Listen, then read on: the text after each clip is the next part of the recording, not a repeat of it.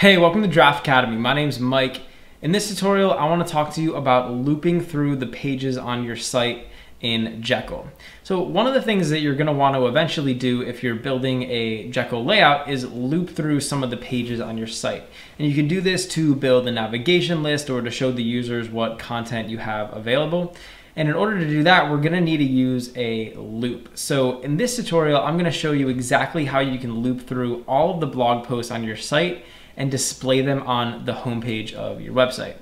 Over here, I have open right now this home.html layout. And this is the layout that's being used by the homepage of our site. So I'm here on this index.markdown file, and you can see that it's using this home layout. And this is the homepage of our website. So anything that I put inside of this home.html layout is gonna go over here on our website on our homepage. So what I want to do is loop through all of the blog posts on my site. And in the post folder, you'll see that I have four blog posts created. So we're going to loop through and basically just list out all of those blog posts. And the way that we do that is by creating a for loop. So over here in this layout, I'm just going to type open and close curly brackets, 2% signs, and I just want to type out for post in site.posts. And basically what this is saying is for each of the posts inside of all of the posts on the site, we want to do something. And then down here, we can just end this for loop. So I'll just say end for, just like that. And now inside of here, we can access this post variable. And every for every iteration through this loop, that post variable is gonna represent a different post on our website. So the first time we go through the loop, it'll represent the first post. The second time, it'll represent the second post, etc. So we can actually just access this post, for example, the title. So I could say post.title and I could just print that out. And then, whoops, we will just make a break here. So now when I go over to the homepage of my website and I refresh the page, what you'll see is all the page or all the posts on the website will get listed out. That's exactly what happens. So we have four posts. The first one is welcome to Jekyll, then my third post, my second post, and my first post. So they're listed out just like that. And when you're looping through all these posts, you can access all of the variables that you would normally have access to for uh, a particular page. So if I wanted to, I could access like the URL, right? And now instead of listing out the titles, it'll list out the URLs.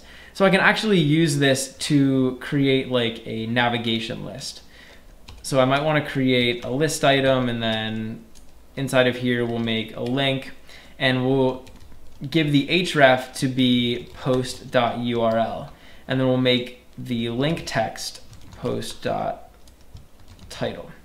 So what this should do is create a entire list um, basically a navigation list of all the blogs on our site. And you can see it does. So if I click Welcome to Jekyll, it brings me to the Welcome to Jekyll blog post. If I click My First Post, it brings me to the My First Post blog post, right? So it's bringing us to each one of those blog posts and it basically we were able to construct this navigation list using this for loop. So being able to loop through the, you know, elements on your site is, is really cool. And in addition to looping through the posts, I could also loop through pages. So I could say site.pages. And now instead of listing out the blog posts, it'll list out all the pages, right? And only one of these pages has a dot title, um, which is this about page down here. And the other ones don't, like this 404 page doesn't.